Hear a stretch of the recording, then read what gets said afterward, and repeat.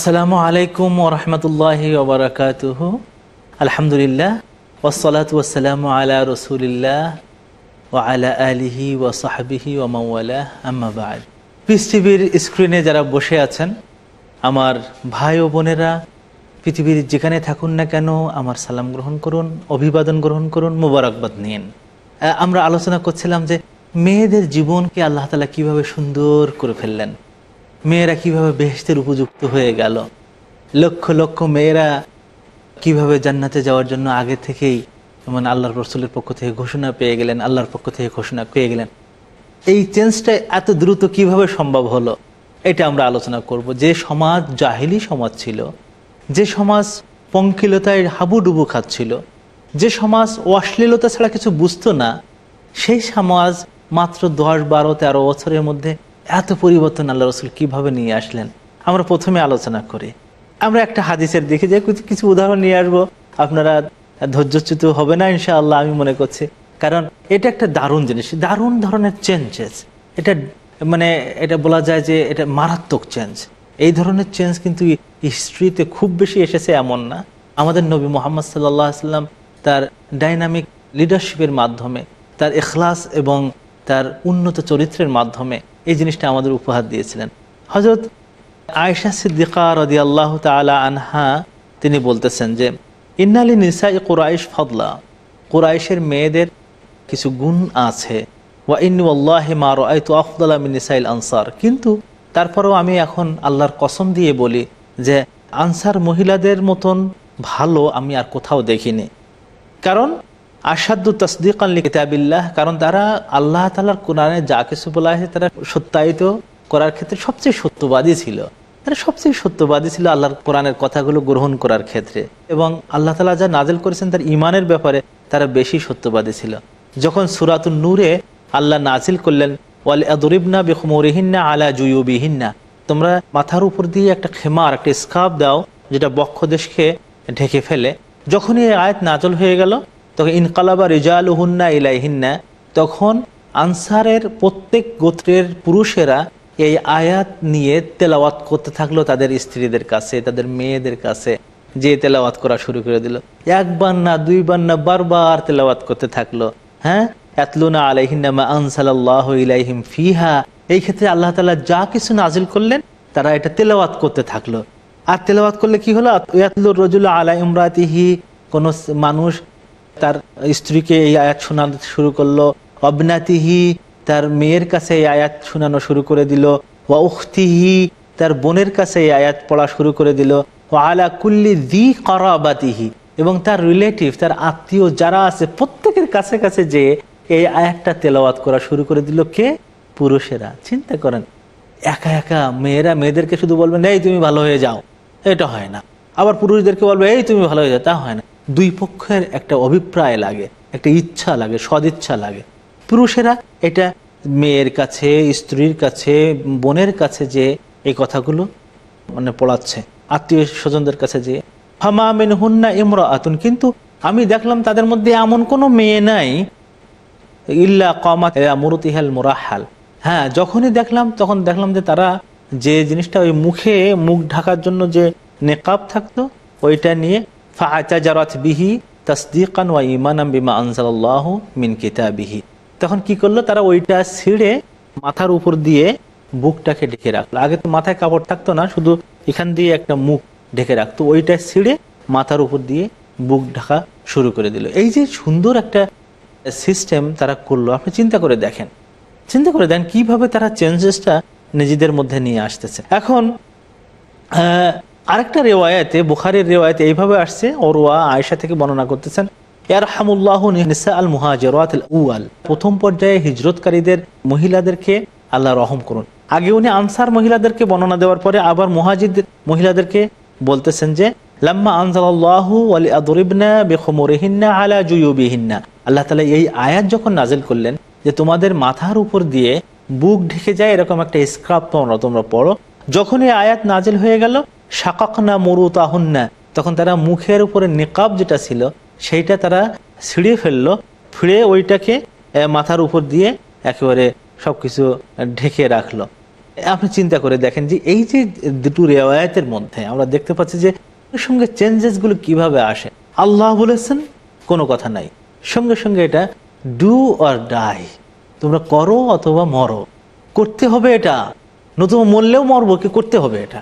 এই যে এই যে এই যে অ্যাটিচিউডটা সাহাবাদের জীবনের এই অ্যাটিচিউডটা আর আমরা যদি এখন আমার বোনকে, আমার আমার ভাইকে, আমার আত্মীয় স্বজনকে যদি এগুলো বলি দেখবেন যে বলতেও লজ্জা করে, আবার যাদেরকে বলা হয় তারাও এম্বারাস ফিল করে। কিন্তু সাহাবাহ গ্রামের চরিত্র ছিল যে পুরুষ বলছে যে, না, আমি চাই আমার স্ত্রী, আমার বোন, আমার মেয়ে এই রকম হোক। এবং তারাও চাচ্ছে যে, আমার বাবা যখন চেয়েছে, আমি এটা হব। আমার স্বামী যখন চেয়েছে, আমি এটা করব। আমার ভাই যখন বলেছে তখন আমি এটা করব। উভয় পক্ষের সম্মতির দ্বারা, উভয় পক্ষের প্রাণন্ত চেষ্টার দ্বারা কীভাবে রাত দিনের মধ্যে ধরেন কীভাবে চেঞ্জ সেগুলো দেখেন।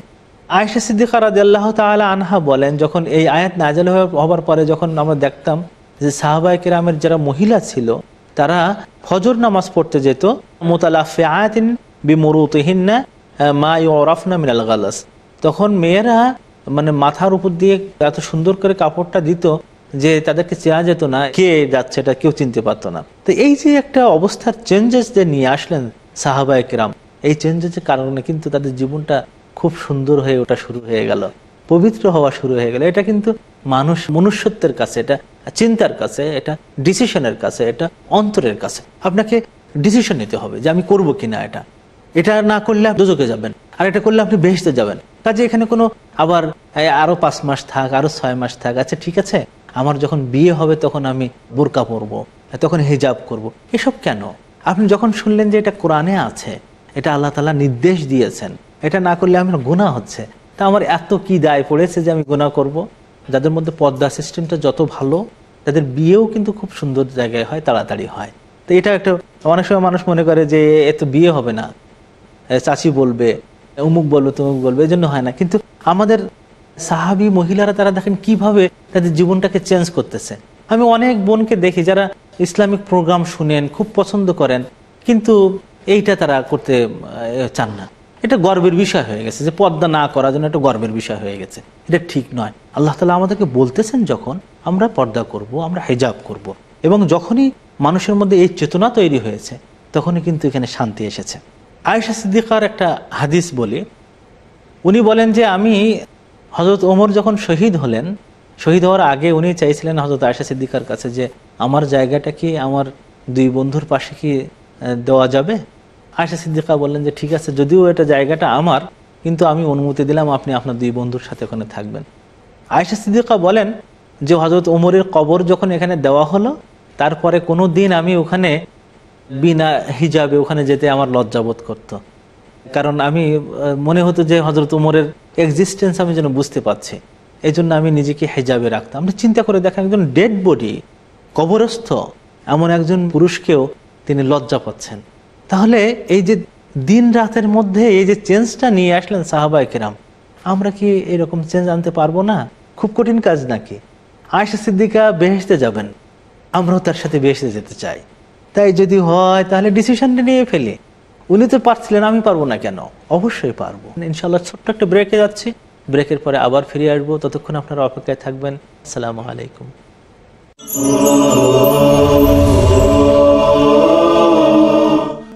সম্মানিত ভাই বোনেরা আরেকজন মহিলাকে আপনাদের সামনে তুলে ধরতে চাচ্ছে। যিনি যে মহিলার কথা শুনলেই চোখে পানি আসে। হ্যাঁ, জান্নাতে যখন তিনি মানে মেয়েদের সর্দার থাকবেন এই আল্লাহ রসুলের সেই কলিজার টুকরা ফাতেমা এত বড় মহিলা, তিনি কীভাবে চেঞ্জগুলো আনলেন, তার জীবনটা কীভাবে ছিল, এটা আমাদের জানা দরকার। পর্দার আয়াত নাজেল হয়ে যাওয়ার পরে উনি পর্দা সংক্রান্ত বিষয়ে তার জীবনের একটা জিনিস আমাদের সাথে শেয়ার করতেছেন। আমরাও জানার চেষ্টা করি।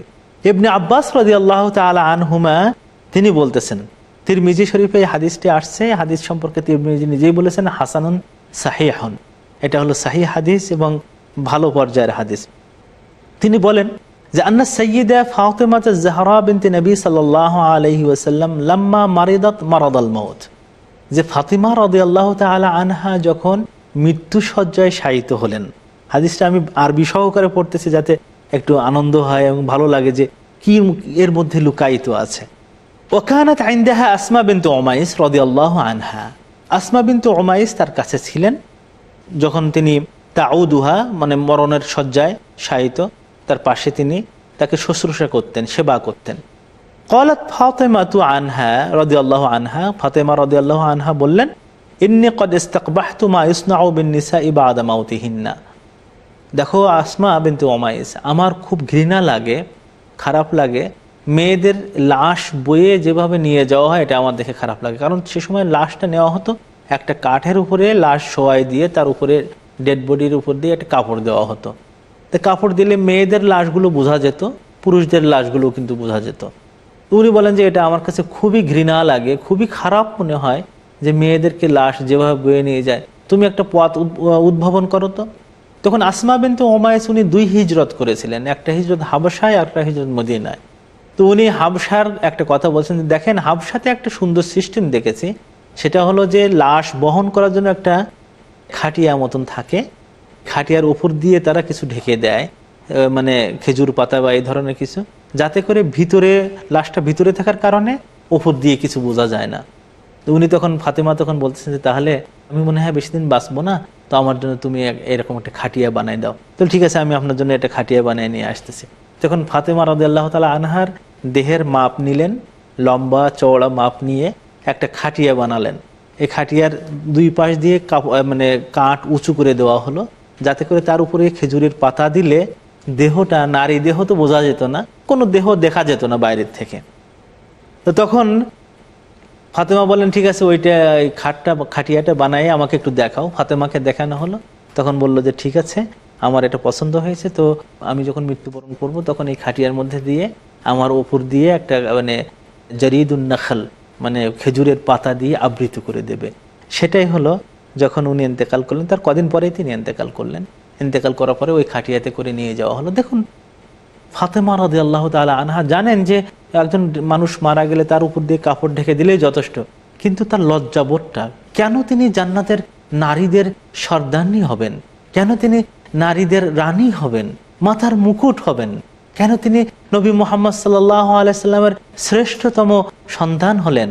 তার কারণ দেখেন যে, মরে যাওয়ার পরেও তার ভয় লাগতেছে যে মানুষ আমার দেহ না দেখুক। এই জন্য উনি এটাও বলে গিয়েছিলেন যে আমার কবরস্থ যেন রাত্রের অন্ধকারে করা হয়, যাতে করে মানুষ দেখতে পাবে না।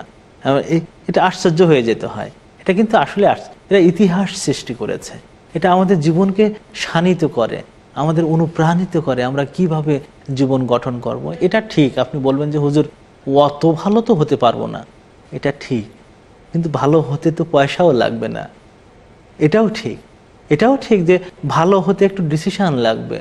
এখনও অনেক মেয়ে পৃথিবীতে আছে যাদের ছায়া পর্যন্ত দেখা যায় না। তারা জীবন চলতেছে কিন্তু। হ্যাঁ তারাও কিন্তু লেখাপড়া করতেছে। তারা কিন্তু অনেক কিছু করতেছে কিন্তু তাদের হেজাবের মধ্যে আছে। আমরা তাদের সাথে সামিল হয়ে যাই না কেন? ডিসিশন নেওয়ার ব্যাপার তো শুধু একটু ডিসিশন নেন যে আমি জান্নাতে যেতে চাই এবং জান্নাতে যাওয়ার জন্য ওরাই কিন্তু আমাদের রাহবার, আমাদের পথ দেখাচ্ছেন। সামনে যাবে ওরা, তাদের পিছনে পিছনে যাব আমরা। আমার তো মনে হয় না যে আমাদের যে আমল, তাতে সাহাবাদের আগে আমরা যেতে পারব, এটা সম্ভব নয়।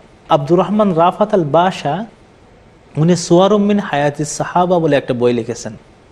এটা সাত খণ্ডে। এর ধারা অবলম্বনে একটা বই আছে, আসহাবে রসুলের জীবন কথা। মদিনা ইউনিভার্সিটি থেকে পাশ করা ডক্টর আব্দুল মাহবুদ প্রফেসর আব্দুল মাহবুদ সাহেব এই বইটা লিখেছেন। আশ্চর্য। এই বইটা আব্দুর রহমান রাফাত আল বাসা যখন এই বইটা লেখেন তার ভূমিকার মধ্যে লিখছেন যে আল্লাহমা ইন্নি ওহিবু আসহাবা নবীক ও আল্লাহ, আমি তোমার রসুলের যারা সাহাবি ছিলেন, পুরুষ মেয়ে হোক, আমি তাদেরকে ভালোবাসি। তো আমি এই বইটা লিখতেছি যাতে করে তুমি কেয়ামতের ময়দানে এবং জান্নাতে তাদের একজনকে হলেও আমার সাথে, আমি যেন তার সাথে থাকতে পারি, এই সুযোগটা দিও। আমরা চাই তো, আমরা চাই আমাদের নবীর সাথে থাকা তো সম্ভব নয়। তো নবীর পাশে থাকতে গেলে সাহাবাদের মতন আমল করতে হবে। একজন সাহাবি একবার রসুল করিম সাল্লাহ সাল্লামকে বলছেন যে, ইয়া রসুল্লাহ আমি খুব ভালোবাসি আপনাকে। আমারও মন চায় যে জান্নাতে আপনার পাশে আমি থাকি। আল্লাহর কাছে একটু দোয়া করেন না? তিনি যেন আমাকে সেই সুযোগটা দান করেন। আল্লাহ রসুল সাল্লাহ সাল্লাম বললেন হ্যাঁ এটা সম্ভব।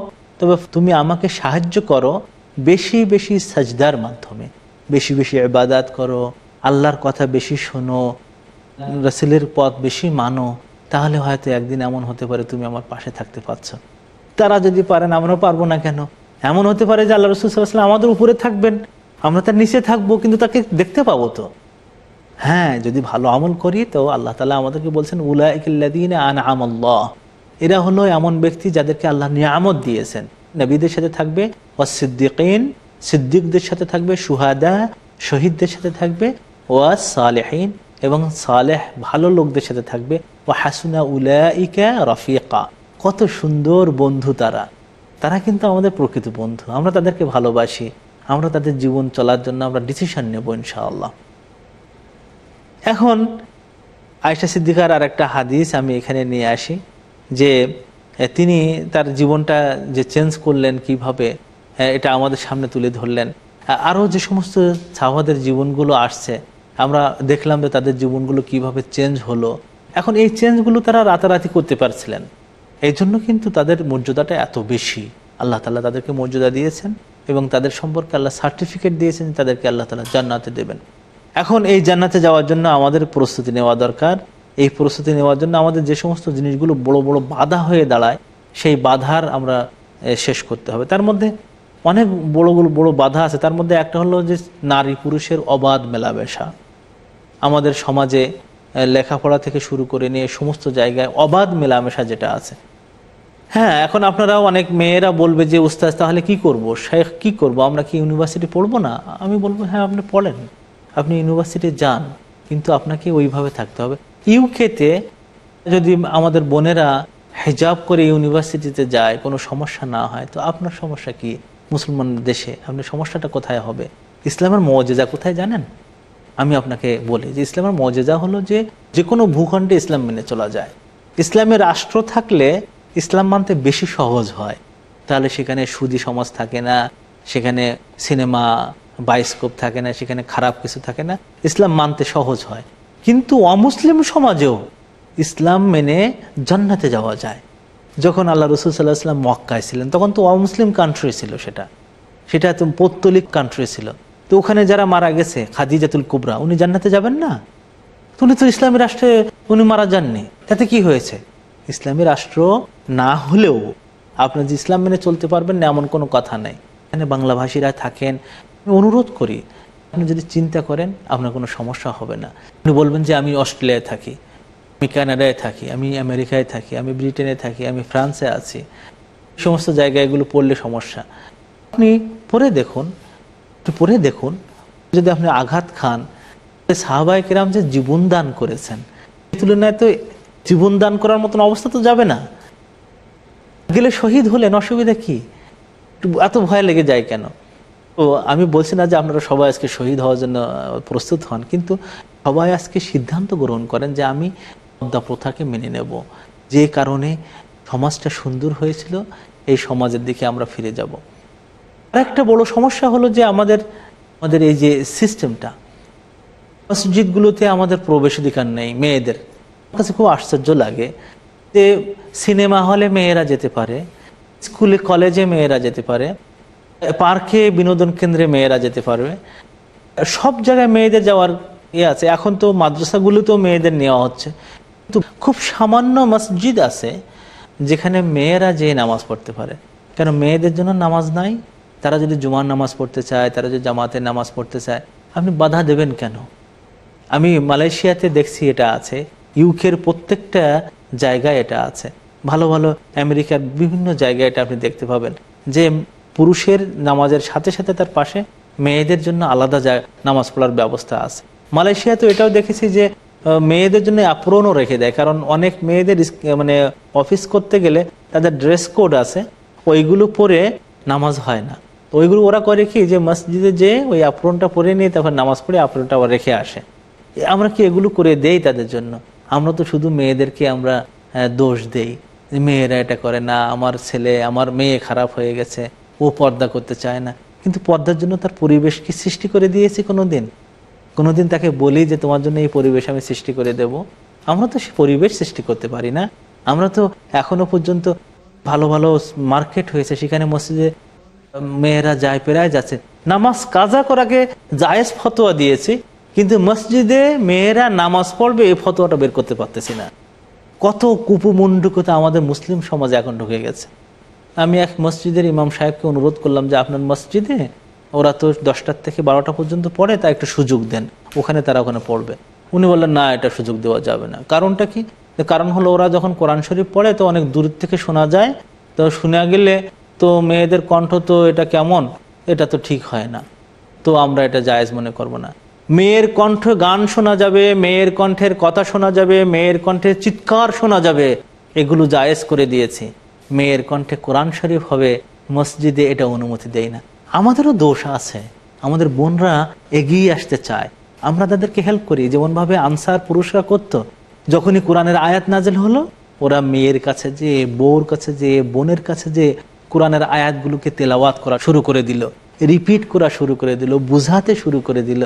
আর দেখা গেল যে রাতারাতি তাদের মধ্যে চেঞ্জেসগুলো আসলো। আমাদের চেঞ্জেসগুলো আমরা চাই, কিন্তু আমরা পরিবেশ তৈরি করে দেই না। আমি উভয়কেই কন্ডেম করছি, আবার উভয়কে উৎসাহিত করছি। পুরুষ, মেয়ে, আমরা সবাই আসি ইসলামের সুশীতল ছায়াতলে। সাহাবাদে কিরামের যে সমস্ত মহিলাদের জীবনগুলো আমাদের সামনে আসলো, তারা যা করেছে, আমরা সেইভাবে করার চেষ্টা করি। হবে কি জানেন? তারা যে জান্নাতে যাবে, এটা তো গ্রান্টি পাওয়া গেছে। আমরাও ইনশাল্লাহ তাদের সাথে জান্নাতে যাওয়ার একটা পথ খুঁজে পাব। পথ খোঁজার জন্য সবাই চেষ্টা করি, এই পথ মেনে চলার চেষ্টা করি ডিসিশন গ্রহণ করি। আল্লাহ আমাদের কবুল করুন, আবার দেখা হবে। ইনশাআল্লাহ, সালামু আলাইকুম ওরহমতুল্লাহ বারকাত